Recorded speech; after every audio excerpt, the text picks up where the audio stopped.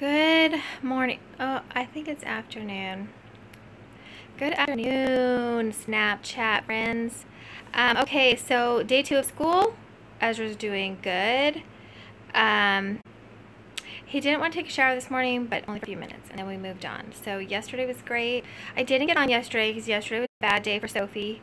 Um, we started a new uh, pill the day before, and we stopped the one pill and um, she couldn't get up.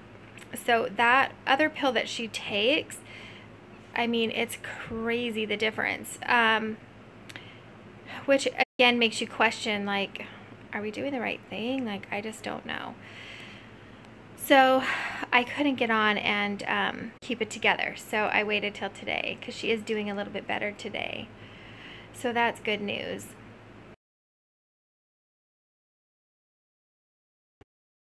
I am not going to make any decisions this week. I mean, obviously, if she takes a turn for the worse, that would change my mind. But um, I'm going to continue to give her the pain pills and the antibiotic together, which the vet uh, didn't want us to do, uh, but she she needs the pain medicine too much.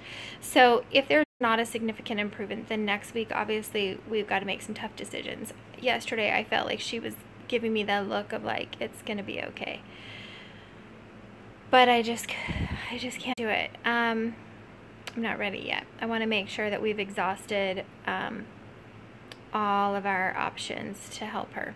So I've got to give it a few more days on the antibiotic to see if it's gonna if it's gonna help. So anyways, um, so that is kind of a bummer. But I did get up this morning and exercise. So I'm still doing it. I'm not losing any weight on that trampoline and bouncing around like an idiot. Still doing it. Um, but I do feel better. I mean, it does help. I mean, we all know all the things that are good for us. We just don't do them or really enjoy them. I mean, I can't really say that I enjoy bouncing around. But, um, anyways, but I have so much work to do. Do you see behind me? Signs, glass blocks.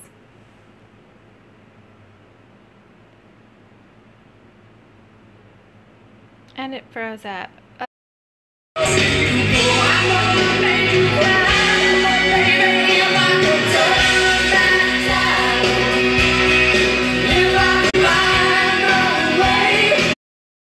Oh my gosh. Okay, so I posted like 11 snaps and Snapchat didn't post them.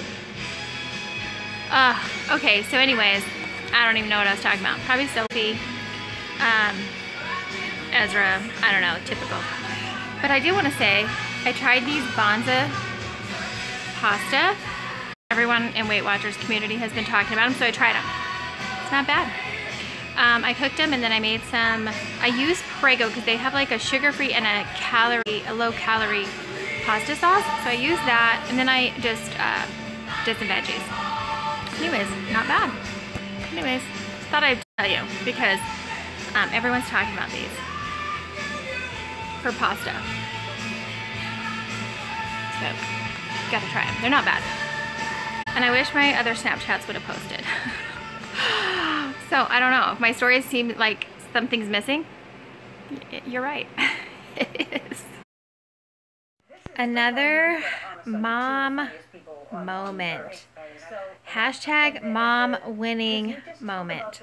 I got a phone call today from the teacher, so of course I automatically panic. And they're like, are you going to pick up Ezra? And I'm like, I didn't realize it was an early release day. I looked at the calendar and it said it was not.